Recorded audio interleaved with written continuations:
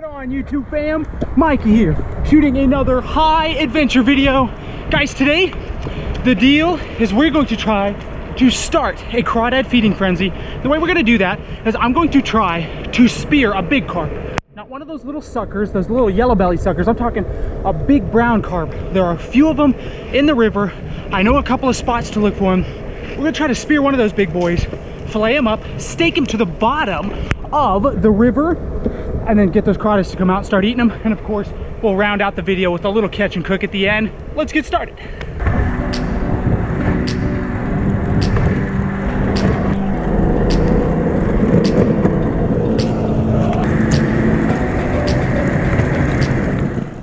Alright, time to dive in. I have my spear tip ground town to a nice lethal point because these carp can sometimes be difficult to spear, especially these big ones that we're going after. I am using a Mako Hawaiian pole spear. Love this type of spear. And this is literally uh, not much underwater footage because you can see them hanging out right there. Bam! This I'm, I'm like in the water for two minutes, maybe at the most. Get a nice headshot. Water's pretty murky because it's morning time, but I kind of use that to my advantage because these carp are pretty smart. They hang around in that those wood pilings, so they're kind of difficult to get to.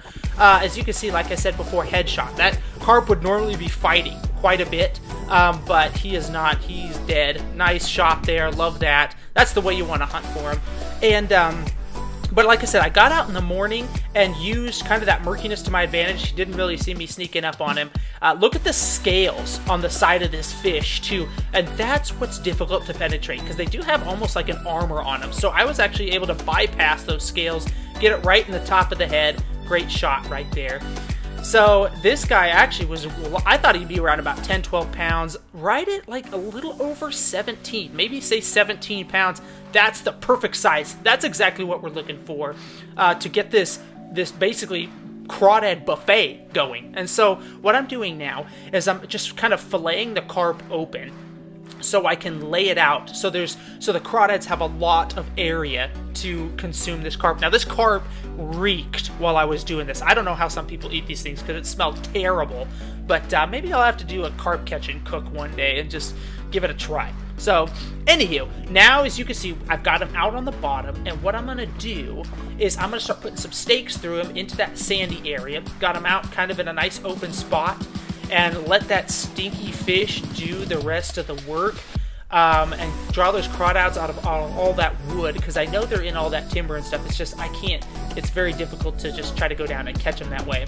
And there you go. You can see. I mean, that fish has been on the bottom for maybe a minute, minute and a half. They're starting to make their way out, and this is maybe like three or four minutes into that fish being on the bottom. I literally just set the GoPro down there, and you can see I already got one making his way to the bait. Doesn't take long at all. There you go. Now I've got about half a dozen hanging around. Nice plump trout. There are definitely some nice trout down there. The reason, too, I stake it to the bottom is because, uh, uh, so there's one of those sucker fish right there. That's what I normally go after. Pretty stupid, so they're pretty easy to spear, but I wanted something bigger. Um, there's our trout friend again. But the reason I stake it to the bottom is because I am in a little bit of current, and I don't want that carp to get taken away. There you can see, I've got a ton. I mean, there are probably about 15 crawdads or so hanging around there. More to come. And uh, that just makes pretty easy pickings. Uh, instead of hunting for them and flipping over rocks. So you can see them starting to make their way out of the wood, and they really like that that piece of meat that I filleted out down there. I think it's a little easier to access. They're they're hitting those scales on the upper part of the carp, and so it just it, it makes it so easy to pick them up now. You can see them hanging out around the wood, and so I just go down with my bag and then just start picking them up like candy. It's it's really kind of a fun way to do it. Plus, I enjoy spearing the carp. Always fun it is legal to spear uh, trash fish in Idaho. It is not legal though to spear like uh, like that little guy right there. He's a whitefish. That's called a whitefish. They're really delicious but super bony. Uh, so not uh, not legal to spear game fish. So I'm setting up my cameras around here. Now, what you can see in the background is basically like a big pile of like leaves and sticks, silt, and some trash, unfortunately. So I set this right by that pile, and here in a minute, you're to be able to see, um, it looks like the pile starts to move, because in fact, you can see it right now. The, the crawdads are starting to come out of that pile. I've moved the this uh, big sucker uh, over here, uh, to this next to the pile because I know there got to be crawdads in there, and here they come. You can see them in the background there, just starting to make their way out. They're kind of fighting with each other too. And by the end of this, I had probably like 20, 25 crawdads all around this uh, this big piece of carp here. And you can see me in the back there. Now I'm just going along, picking them up. There's some big ones down here. Pretty awesome. Pretty awesome. Pretty easy way to do it. So that was the strategy today on catching these crawdads. When the water's warmer, they're out on the bottom, kind of like candy, just hanging out. Uh, so it's really easy to catch them, and, and you don't have to flip over rocks or anything. But in this instance, just so much fun. I enjoy getting out, being able to spear something like a carp, working a little smarter, not harder. Good times. Oh, guys, that was epic, super fun. Man, when I put that carp down there, I mean, I barely had it down there, and it was just like flies to honey, man. They just came out of nowhere. Made my job a lot easier catching these crawdads. Now, I have the cook stuff out, ready to rock and roll. Let's throw down a quick catch and cook crawdad boil. This video would not be complete without one. Let's get started. To start our boil, we're gonna bring some fresh water to a boil. Fill it up about that much is good. Now that we almost have our water to a boil, I'm going to add, no, this is not moonshine. This is Zatarain's Cajun seasoning in liquid form. It comes in either big pouches or liquid form like this. The reason I'm not doing a big pouch is because I'm not doing a big boil. I'm scaling back the boil, just doing a small boil for myself. We're gonna pour some of this in there. That is potent. Go about yay much. You could just kind of eyeball it, however spicy you want it.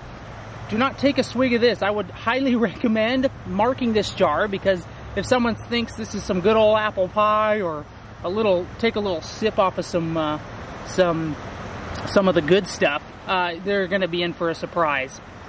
Now, while we let that come to a boil, over here, I have mixed up some potatoes, onions, and some Polish kielbasa that's also gonna go in with um, my crawdads to supplement uh, the crawdad meat, because obviously the crawdad meat's not gonna be enough to fill me up. I'm also gonna throw these couple of lemon slices in here as well. And I'm also gonna add some garlic powder that, or you can use crushed garlic. I'm just gonna throw some garlic powder in there. Crushed garlic though would be a lot fresher. Um, but that's what we're gonna be adding today to our boil. Guys, I also have to give a big shout out to Chris in New York for sending me this knife. It is a, it's a Rapala, um, what is it, Rapala Finland Superflex.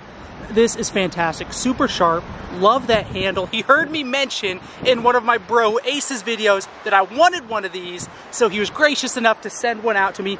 Chris, big shout out. Thank you so much. I love this. Mwah. I'm going to use this in all my videos. And check this out. It also comes in this like buckskin, um, what is this? Also Finland, um, uh, pouch, holster. It's got a little deal for the belt there, a little loop for the belt. And this whole package is just fantastic. It is exactly what I need as a catch and cook person. Look at that. There's the whole package right there. Again, Chris, thanks so much. Appreciate it. All right, my garlic powder is in there. I also threw in a little Old Bay seasoning just to add a little extra kick to it. Now, before we throw the crawdads in though, the first thing that goes in are our potatoes because those are gonna take the longest to cook and let those cook down for maybe about five or six minutes. Let those boil up. And, uh, and then we'll go ahead and add the crawdads, our onions, and our Polish kielbasa. All right, so our potatoes have been in there for about five minutes. Time to go ahead and throw some crawdads in.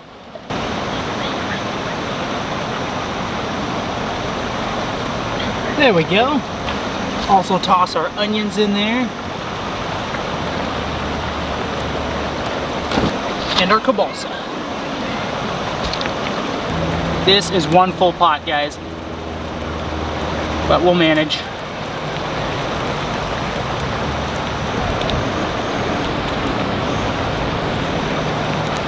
All right, check that out. Guys, that is pretty much the finished product right there. Just, oh, smells delicious. Just a medley of summertime goodness. Let's go ahead and pull it off the burner. But what we're gonna do too, I want a little dipping sauce with that, a little butter. So let's pull this off and set them off to the side right here. Let that cool. Now while our burner is still hot, we're gonna go ahead and put some butter on and melt that down. I'm also gonna be throwing a little Old Bay seasoning in there with the butter. Also add some garlic powder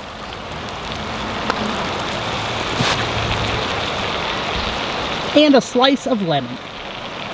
All right, we'll turn the heat off. Stir that all around good. Let all those flavors mix together. And we'll go ahead and pull it off. So I've got my melted butter. Now what I'm gonna do is I'm gonna get all of this out of that sauce. Just ladle it out onto a plate.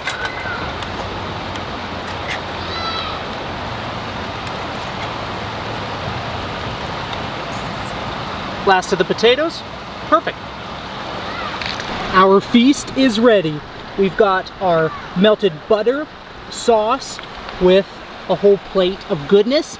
Guys, I'm starving after, that was a hard day of work there. Spearing that carp, getting those crawdads, diving for them. I even did a little handline fishing for trout, but couldn't catch any. Let's go ahead and get eating. That right there is called a plate of summer flavor. Got my butter close by as well. Now all I do is I just take each ingredient, dredge it around in my butter. Mmm. Just eat it like that. Crack open a crustacean here. Look at that, nice big juicy piece of tail meat. Right into my butter sauce right here. Mmm. That Zatarain seasoning is spicy, but with that butter, that butter really tones it down. So, you get a pretty good kick. That's why you want to drain all that water out or ladle all of your ingredients out. Check it out. I have made an onion, potato, crawdad, sausage sandwich. Dredge it in the butter. Down the hatch.